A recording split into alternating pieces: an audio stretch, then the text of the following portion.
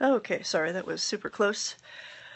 I can't help but belabor this topic a little bit more. For those of you who are just catching up, there was a triple homicide last week in Pensacola, Florida. It was brutal and horrible. Three people were bludgeoned to death with a claw hammer, their throats were slit, one of them was shot with a gun. It was a mother, elderly, and two sons. The family was reclusive.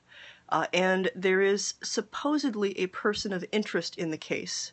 Uh, but the reason that this has made the news and caught my attention is the local sheriff, uh, Sheriff Morgan for Pensacola, Florida, is really sure that this is an instance of witchcraft. And initially, he called the killings Wiccan ritual killings and cited them as being tied to the blue moon.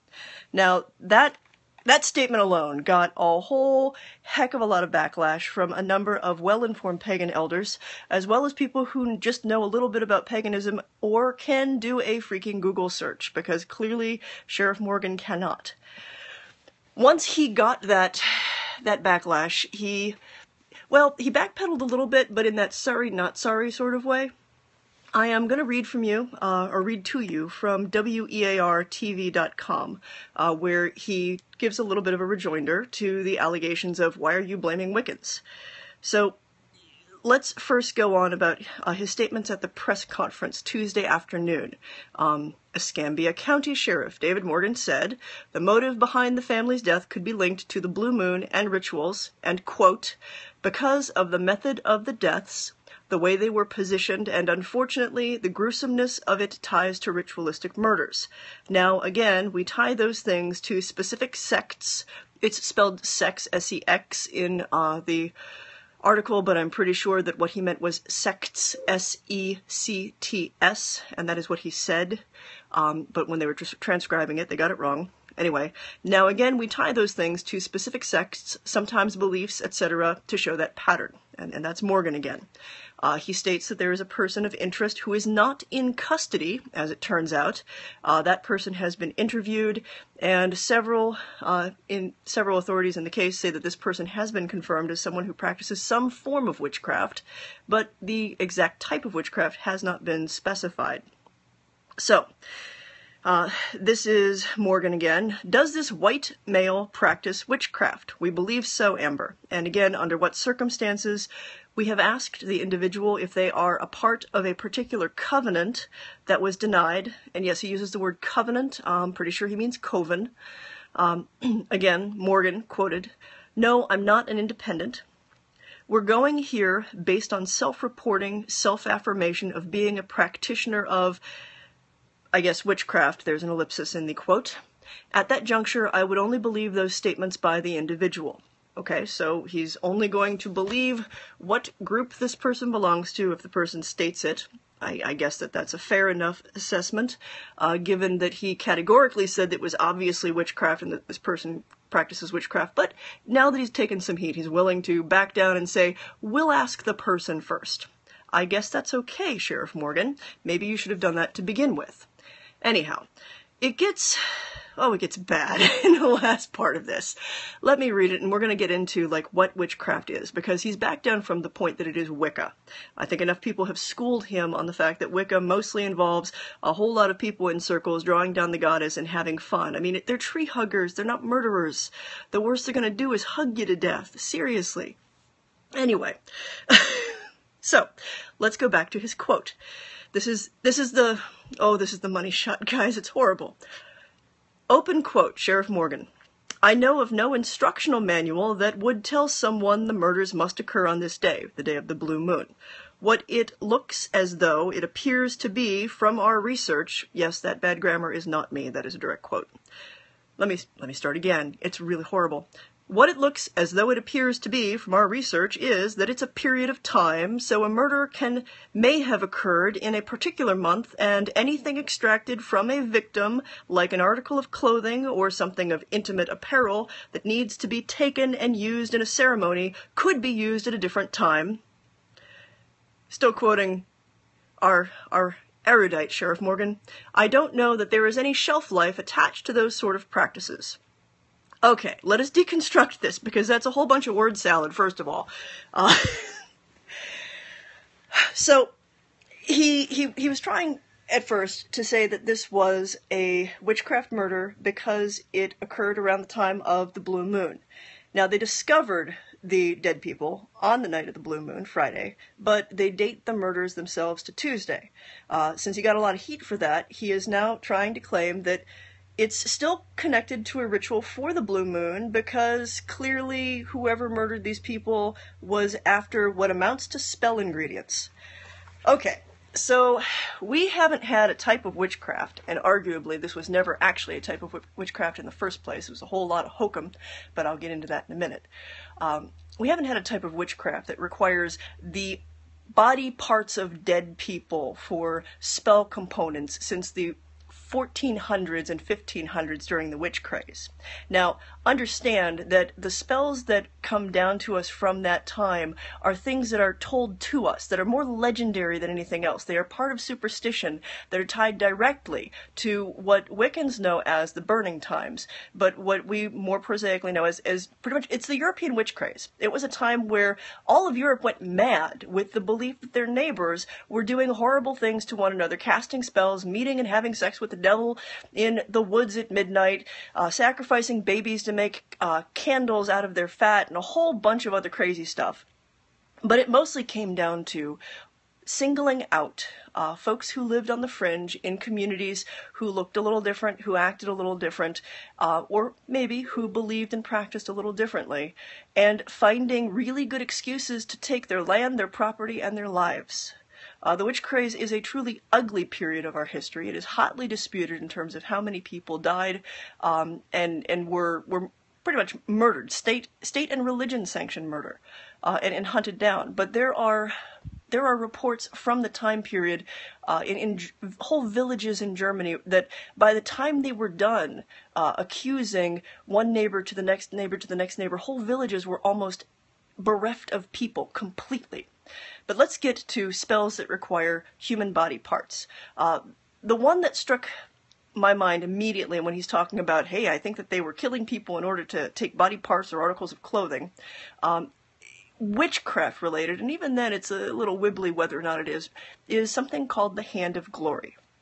Uh, there is a great folklorist, uh, Sabine Baring Gould, who has a lovely little bit, and I will link it when I post this back up on Facebook for everybody, about the Hand of Glory. Uh, the thing about the Hand of Glory and related articles like it, um, and this is important, the vast majority of items where you needed parts of a corpse almost in all cases, the corpses that you might be taking things from in these stories of witchcraft uh, talismans, you're taking them from dead people who are murderers, people or thieves, who usually were hung at the crossroads or in some public part, and you'd sneak up to the gallows late at night, allegedly, and cut off their hand or cut off some, some other bit. Uh, and the Hand of Glory specifically was the hand of a murderer, uh, which was then preserved and uh, the tendons were tweaked so that it was in a fist. Uh, and once it was preserved in a fist, it was made to hold a candle. And it was strangely believed that when you burned the candle for the hand of glory, it would make everybody in a household either fall asleep or it would render you invisible. Either way, it was supposedly a really useful thing for thieves to go lop off the hand of a murderer who had been hung in the town square or the crossroads, preserve this hand, and then go run amuck and steal everybody's jewels. Uh, it's it's really the stuff of legend. It's really the stuff of fiction. Um, it, it's stuff Robert Southey uh, discusses it. It's the sort of stuff that shows up in really, really titillating stories of the time. But did people run around doing this? Highly unlikely.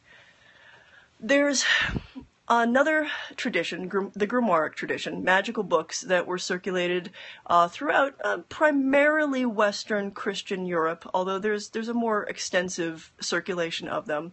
Um, I write a lot about them in my Dictionary of Demons. That is not a, a sales pitch. That's just if you really really want to go poke around and learn more about the Grimoire tradition, that's the place to go look. Um, but the one that comes to mind with that is the Red Dragon Grimoire.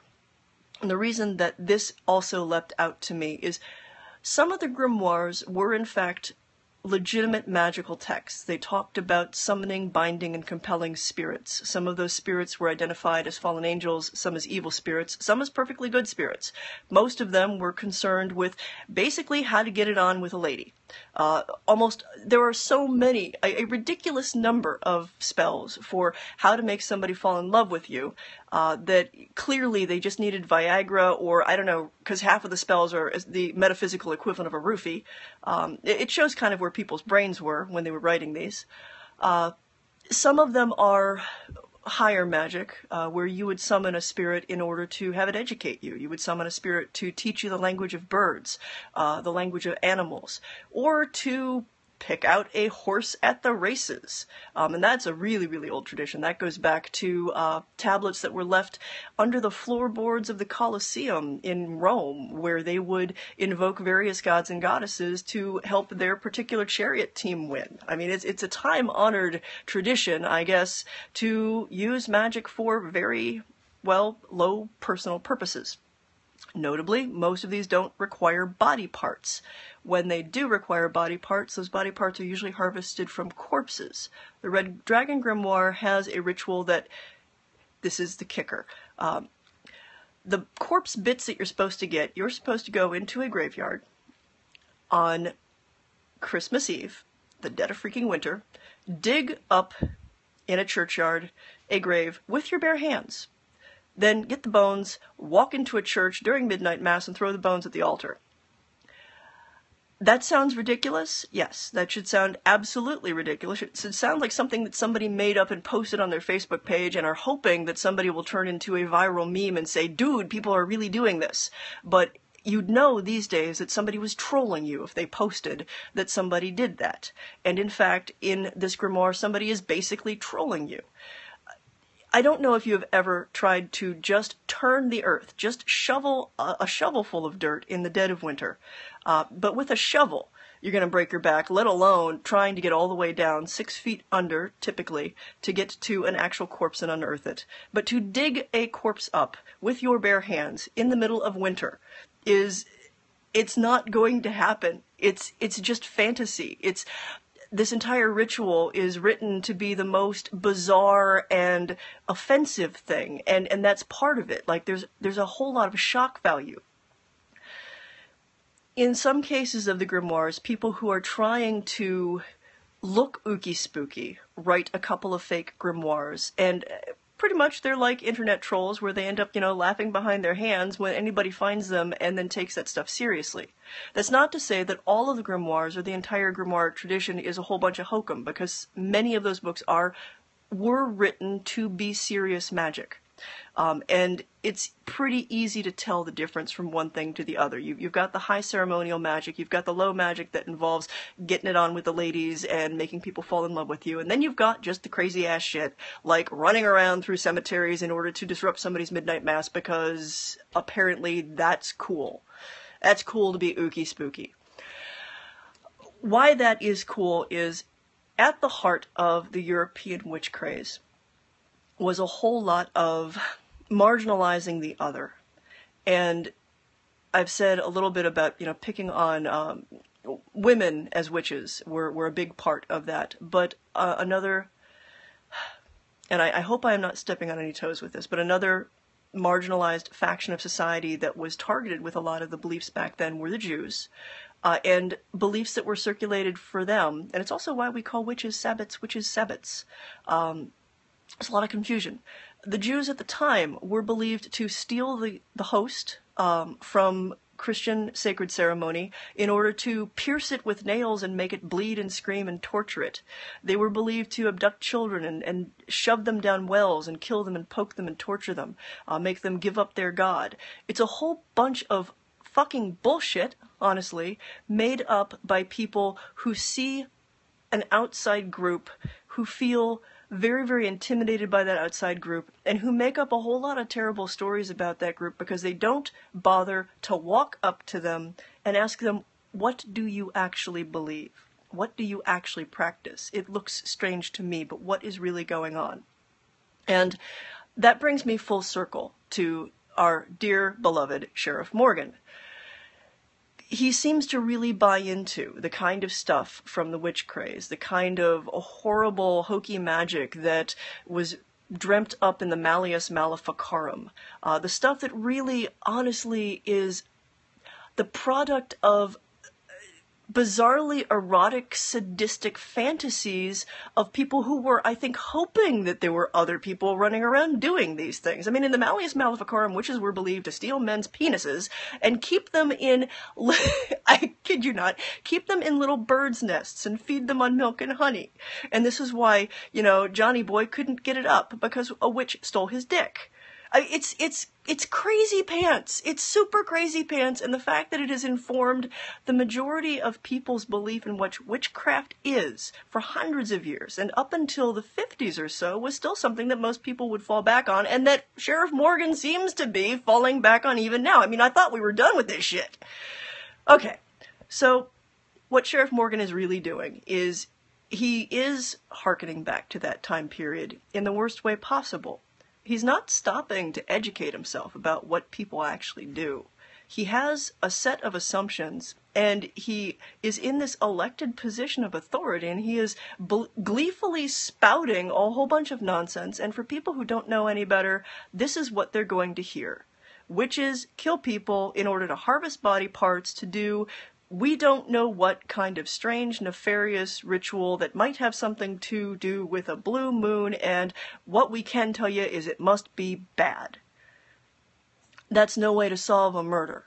That is a great way to completely derail yourself, your investigation, and bias things with, with such, such horribly colored, misguided glasses that you will miss what is lying right in front of you for what is actually going on whoever killed these people, and it is a tragedy, it is horrible the way these people died. It is brutal and violent and really suggests a level of very personal violence.